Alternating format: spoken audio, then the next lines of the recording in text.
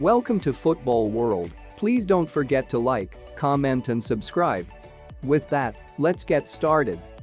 Georgina Rodriguez has admitted being Cristiano Ronaldo's girlfriend has many benefits, but insisted she's the one who has made the money she's got. The pretty brunette also confessed to having millions in the bank as she hit back at critics by claiming, I'm proud of how I'm managing my career. The mum opened up as she celebrated making the front cover of monthly business magazine Forbes Spain. Speaking as her new Netflix show I Am Georgina about her life before and after meeting Man United striker Cristiano continues to mesmerize fans around the world, the former £10 an hour shop worker said. It's true things have gone well for me in recent years, but I've also worked a lot and have known how to use my time and social media. The model and influencer, who now has a staggering 35.6 million Instagram followers, added. Sometimes they call me the partner of in a pejorative way, but it doesn't hurt me. I'm delighted to be Cristiano Ronaldo's partner, I'm totally in love with him, and I feel very fortunate as a result. I'm conscious that being his girlfriend offers me many opportunities, but I've worked for and built up what I've got in the bank.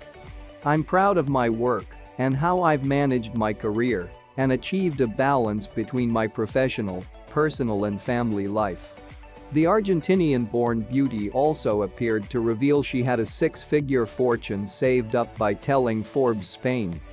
As far as money goes, you'll have to excuse me, but I prefer not to talk about how many millions there are in my bank account.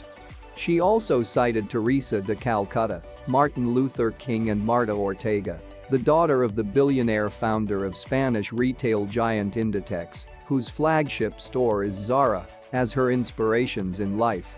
Georgina revealed a link to the influential businesswoman, which was previously unknown, by describing the Galician mum of two as her brilliant friend.